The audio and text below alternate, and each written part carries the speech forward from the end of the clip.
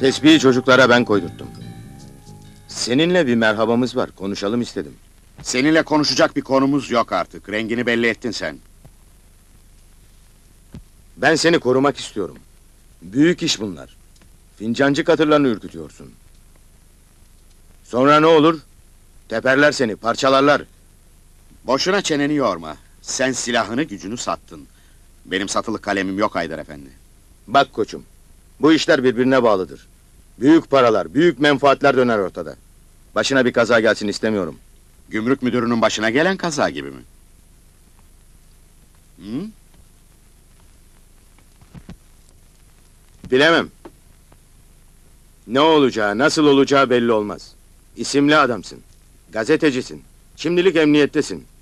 Ama çizmeyi aşarsan Daktilomu kim kırdı? boş ver. Yenilerini alırız. Kim kırdı dedim. Ben kırdım kardeş. Kusura bakma. Ağamız söyledi işte yenilerini alırız.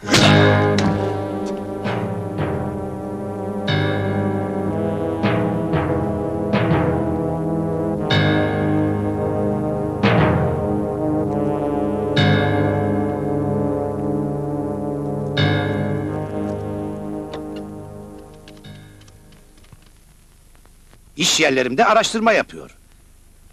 Şakamız olmadığını bilsin. Bilsin ki daha ileri giderse ölecek. O kadar.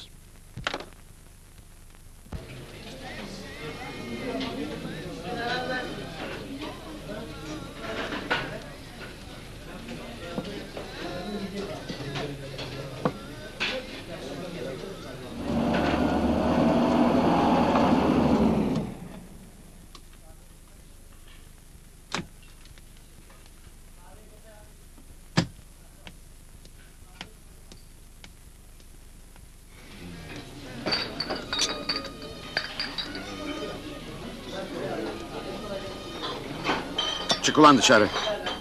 Ne oluyor ya? Otur hele. Çık diyorum sana yoksa gırtlağını sıkarım. Neyin var senin? Gırtlağıma sarılacaksan sarıl. Ama ne olduğunu söyle. İkili oynuyorsun. Alçağın tekisin sen. Gümrük müdürünü öldürdüler. Buluşacağımızı sen biliyordun.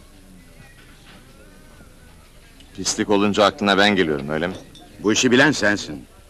Benim bildiklerimi onlar da biliyor. Her yerde gözü kulağı vardır onların. Sana müdürün telefonunu verdim. Ama buluşacağınızı bilmiyordum. Yalan mı?